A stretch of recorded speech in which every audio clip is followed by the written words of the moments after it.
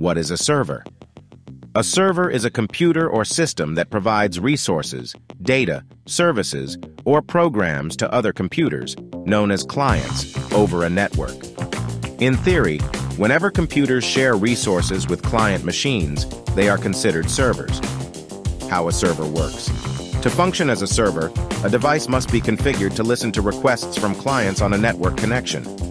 This functionality can exist as part of the operating system, as an installed application, role, or a combination of the two. When a client requires data or functionality from a server, it sends a request over the network. The server receives this request and responds with the appropriate information. This is the request and response model of client-server networking, also known as the call and response model. Types of servers.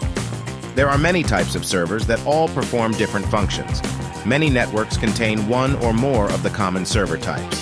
File servers, print servers, application servers, DNS servers, mail servers, web servers, database servers, virtual servers, proxy servers, monitoring and management servers. Server structures. The concept of servers is nearly as old as networking itself.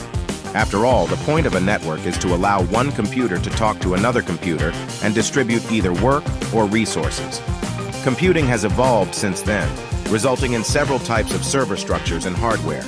Mainframe or mini computer, AS400. Computer hardware server, blade servers, combining servers, virtual servers. Server operating systems, Microsoft Windows servers, Linux, Unix servers, NetWare cloud servers. Today, a server can be nothing more than the data of physical hardware that consists of multiple processors, disk drives, memory, and network connections. But even now, a server is still just a system that responds to a request from a client.